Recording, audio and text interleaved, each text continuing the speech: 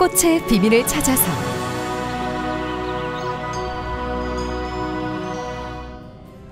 꽃으로 피어나는 생명.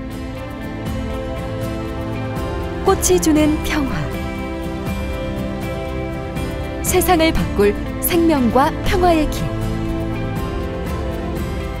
2018 고향 국제꽃 박람회.